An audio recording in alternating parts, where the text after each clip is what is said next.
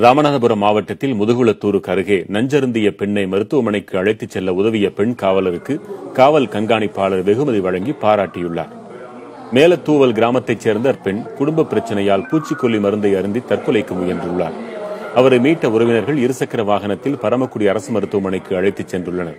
அப்போது அவ்வழியாக வந்த மகிமா என்ற காவலர் அவர்களிடம் நடந்ததை அறிந்து காவல் கட்டுப்பாட்டு அறையின் மூலமாக அவசர மருத்துவ ஊர்தியை வரவழைத்து அப்பெண்ணை மருத்துவமனைக்கு அழைத்துச் சென்றுள்ளார்.